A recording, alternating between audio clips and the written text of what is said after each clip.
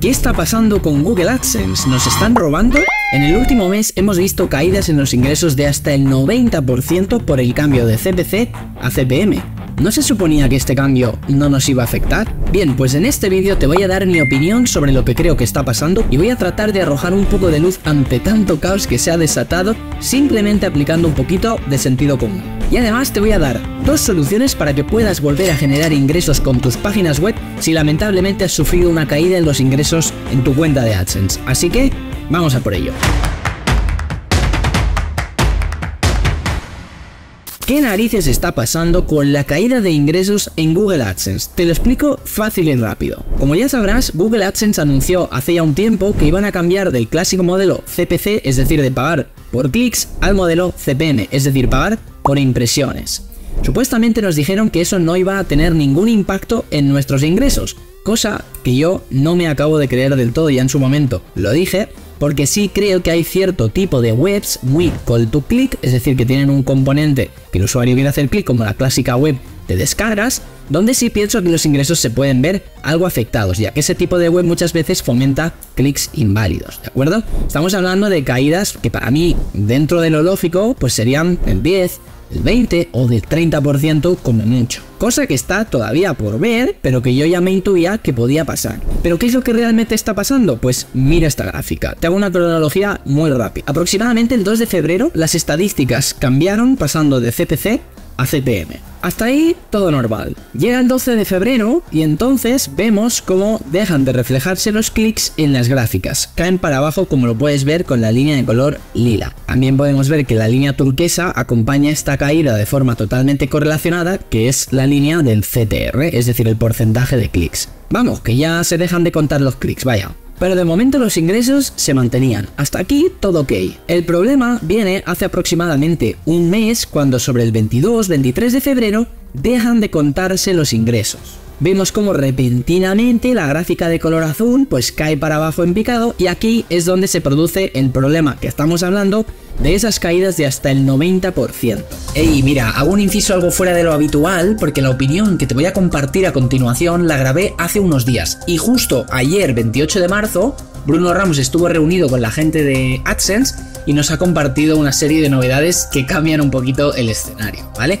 Inicialmente vas a ver que, bueno, para mí no tenía ningún tipo de sentido ver caídas del 90% por el cambio de CPC a CPM.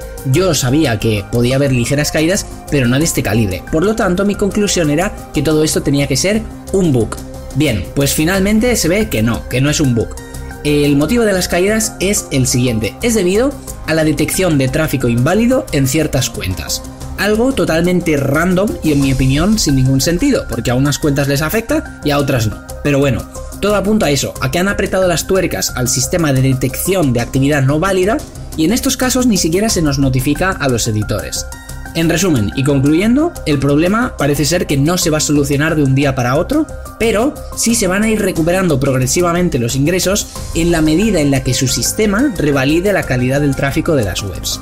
Y además de esto, también tengo que decirte que las dos soluciones que te voy a dar en este vídeo sí siguen siendo válidas y muy recomendables. Algo que para mí no tiene absolutamente ningún tipo de sentido y que creo con casi total seguridad que se tiene que tratar de un bug todavía no reconocido por parte de Google AdSense. ¿Qué es lo curioso del caso de todo esto? Pues que realmente es muy random esta caída de los ingresos, porque no se ha producido en todas las cuentas, se ha producido solo en algunas, y no detectamos ningún tipo de patrón que nos haga reconocer por qué en unas cuentas sí y por qué en otras cuentas no. Es decir, que el problema no es a nivel de página web, no es que algunas páginas web han caído los ingresos, no, no, el problema es que ciertas cuentas todas las webs han caído los ingresos sin ningún tipo de sentido. Y sigue habiendo cuentas que no se han visto afectadas lo más mínimo y siguen generando lo mismo que estaban generando antes. Por esto es por lo que creo que tiene que ser algún tipo de error ya que es que no, no, tiene ninguna lógica realmente que pase esto. Además, apliquemos el sentido común. Por cada cuenta que cae un 90%, si realmente fuera una caída de los ingresos y no fuera un error, tendría que haber otra cuenta que aumenta un 90%. Porque el pastel sigue siendo el mismo que antes, los anunciantes están pagando la misma pasta. Y yo personalmente, no sé tú, no he visto a nadie todavía levantando la mano diciendo que sus ingresos han aumentado un 90% de un día para otro. Entonces, en resumidas cuentas, lo que creo es que esto es un error que se va a tener que solucionar en X tiempo, un error que todavía no han reconocido y un error que lamentablemente a las personas a las que les ha afectado, pues es un dinero que dejan de ganar. Y en algunos casos es mucha pasta. La persona que estaba ganando 2.000 pavos al mes, pues ha perdido 2.000 pavos. Ese dinero no creo que lo vayan a devolver. Así que toca tener paciencia. No obstante, si eres de los que quiere tomar acción ya para recuperar los ingresos que estabas generando y que lamentablemente pues te has visto afectado por esta caída, te voy a dar dos soluciones para que puedas hacer. Pero antes, déjame decirte algo que te va a molar. ¿Quieres venir al evento de SEO para nichos y monetización online más bestia del año? Un evento que va a ser online y 100% gratis. Pues reserva esta fecha, lunes 8 de abril y apúntate por aquí ahora mismo. Mira, vámonos a la pantalla. Cuando accedas aquí, mentoriaseo.com barra evento 2024, simplemente tendrás que llenar este formulario y ya estarás dentro. ¿Qué puedes esperar de este evento? Pues mira, más de 7 horas de formación SEO gratuita. Componentes SEO nicheros brutales de habla hispana. De hecho, mira, voy a hacer scroll para enseñártelo. Evidentemente va a estar Bill, va a estar Sergio Canales hablando de webs en Estados Unidos, voy a estar yo enseñándote cómo encontrar nichos paso a paso, pero es que va a estar gente súper, súper top del sector, como Fede Caruso, Emilio García, Isarran con el tema del Rang and Ren, Bruno Ramos, José Robles para e-commerce, Luis Duato, en fin, va a ser una fiesta nichera tremenda y más allá de estas ponencias que van a ser toneladas de valor, es que vamos a regalar un montón de cosas. Vamos a regalar eh, plantillas de WordPress, plugins de pago, licencias de DinoRun, incluso vamos a regalar una web de nicho en Estados Unidos que hemos estado haciendo Sergio Dini y yo con un alto potencial de rentabilidad y que ya está empezando a generar sus primeros clics. Y por si todo esto fuera poco, simplemente por el hecho de apuntarte y asistir, vas a recibir un ebook con 10 ideas de nichos rentables en 2024. Va a ser brutal, tienes mucho que ganar y nada que perder, así que ya lo sabes, apúntate por aquí y nos vemos en 8 de abril. Bien, y ahora sí, vamos ya con las dos soluciones para que puedas volver a generar ingresos con tus páginas web. Nosotros lo hemos hecho, tenemos experiencia en esto y lo hemos podido comprobar. Ahora, ¿cómo abrir una cuenta secundaria sin morir en el intento de que Google te pille y sin tener líos con Hacienda? Pues mira, es muy fácil, en cuatro pasos. Primero, creas una cuenta nueva de AdSense con otro Gmail a nombre de una persona de máxima confianza. Pongamos, por ejemplo, tu pareja. Segundo, abres una cuenta bancaria compartida con esta persona donde ambos seáis cotitulares. Tercero, empiezas a generar ingresos en esta nueva cuenta y cuando Google AdSense te pague, que en realidad quien va a pagar es a tu pareja, va a ver que el titular de la cuenta bancaria coincide con el titular de la cuenta de AdSense, es decir, la cuenta de AdSense está a nombre de tu pareja y la cuenta bancaria también está a nombre de tu pareja todo ok. Cuarto paso, pues vamos con Hacienda, nuestra queridísima Hacienda. ¿Qué va a pasar con Hacienda? Lo que va a haber Hacienda es que ese ingreso llega a una cuenta bancaria en la cual tú eres titular. Es decir, con AdSense estás quedando bien porque tú estás a nombre de tu pareja, pero con Hacienda también estás quedando bien porque esa cuenta bancaria, al estar a tu nombre y al tú declarar esos ingresos de la forma habitual, como me imagino que ya debes estar haciendo, y si no ves con cuidado, ¿vale? Porque se tiene que declarar esos ingresos en Hacienda, pues ya está, no vas a tener ningún lío. Quedas bien con AdSense, quedas bien con Hacienda. Es la gracia de tener esa cuenta bancaria con ambas personas como cotitulares. Así que ya lo sabes, si tenías una cuenta secundaria, pruébalo, me dices si te funciona, ya te digo, a nosotros nos ha funcionado, me lo escribes en los comentarios. Y si no tenías ninguna cuenta secundaria, pues puedes aprovechar para crearla porque no es ninguna mala idea, te evitas posibles sustos ante baneos repentinos que no te esperabas, pues estás más protegido.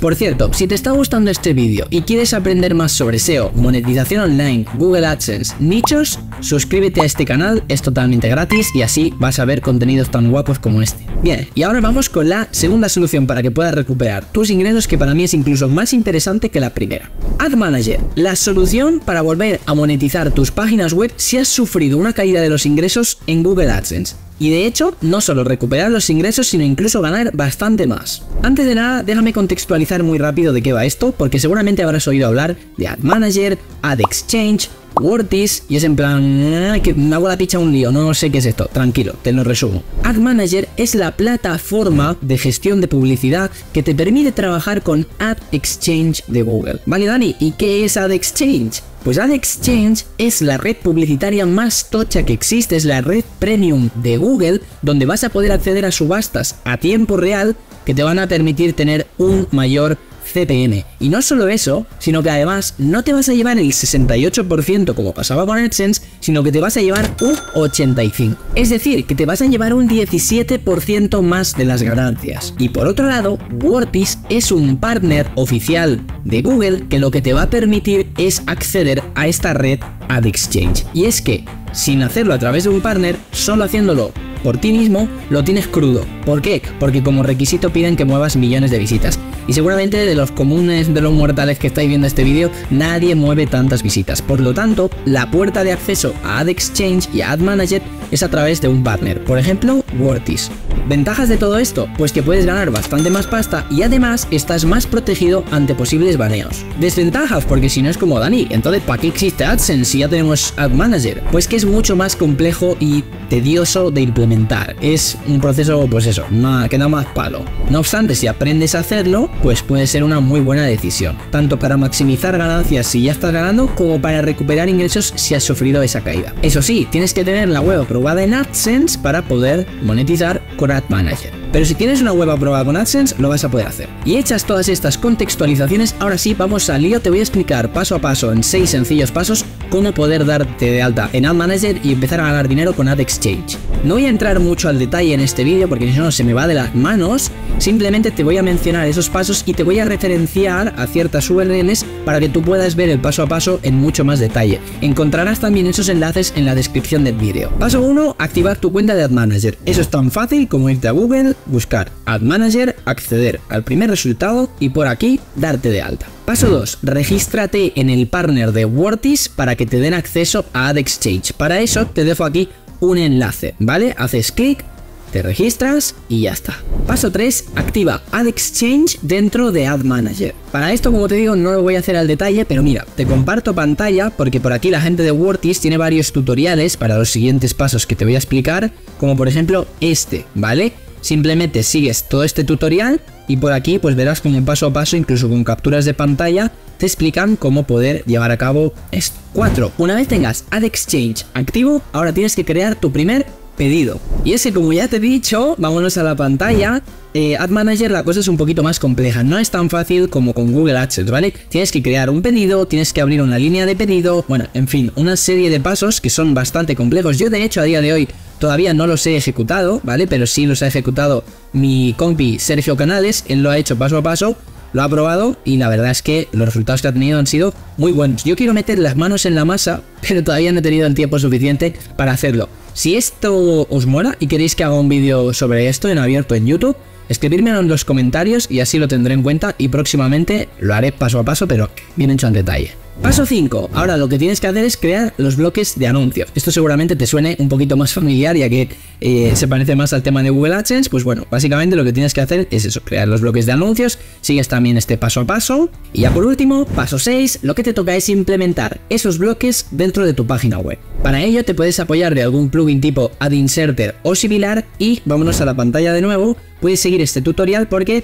no es tan sencillo tampoco como con AdSense. Parece que sí, pero no, ¿vale? Bueno, vas a tener que modificar la línea del AdTXT y luego verás que si sigues este paso a paso, pues bueno, eh, tiene cierta complejidad poder implementar esos bloques, pero bueno, una vez lo hayas hecho, pues ya está, ya sabrás cómo hacerlo. Creo que la primera vez que uno tiene que hacer esto seguramente es la vez en la que es todo más tedioso porque es todo nuevo, pero cuando lo has hecho y te acostumbras y ves que funciona, me imagino que tiene que ser algo bastante gratificante. Por otro lado, si quieres profundizar más en todo lo que te he explicado porque se te ha quedado un poco corto, te voy a referenciar a dos URLs que creo que también te pueden ayudar bastante en todo este proceso. La primera es un artículo que escribió Sergio Canales dentro de Blogger 3.0 donde explicó no tanto en cómo implementar esto paso a paso, que eso ya lo tienes en las referencias que te he pasado hace un momento, sino que aquí cuenta su experiencia, cómo en prácticamente duplicó ingresos con una página web que tenía con AdSense y un poco evalúa pues el antes, el después, pros, contras y demás, ¿vale? Creo que es un artículo bastante interesante. Y por otro lado, te quiero referenciar también al mítico, al legendario, al único, al inigualable Bruno Ramos. ¿Por qué? Porque Bruno, como estás viendo aquí en pantalla, puedes hacer clic por aquí eh, para unirte a un curso gratuito que tiene de Ad Manager y Ad Exchange, ¿vale? Simplemente, pues bueno, te das de alta por aquí eh, y Bruno, pues qué te voy a decir de Bruno. Bruno es un crack, ¿vale? Bruno de hecho estará como profesor en Mentoría SEO 4, dará varias clases, una de ellas será en profundidad sobre todo ese tema de Ad Manager, Ad Exchange, WordPress y demás, ¿vale? Donde nos explicará pues en profundidad cómo hacerlo y cómo hacerlo bien, ¿ok? En base a su experiencia. Pero bueno, que sepas que tienes este curso gratuito súper recomendable. Nada más por mi parte, espero haber alimentado tu fe, ¿vale? Que veas que esto de la monetización con los nichos para nada está muerta, aunque a la gente le encanta eh, lanzar fuego y meteoritos y terremotos y que sea el fin del universo. Pero no, ¿vale? Todavía creo que hay bastante recorrido por delante.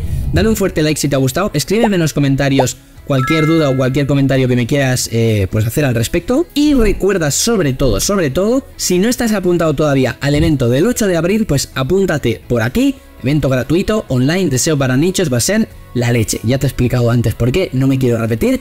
Y sin más, te dejo por aquí una serie de vídeos también muy interesantes para que sigas aprendiendo conmigo sobre SEO, sobre monetización online, sobre AdSense y todo esto. Nos vemos ahora mismo, un saludo, chao.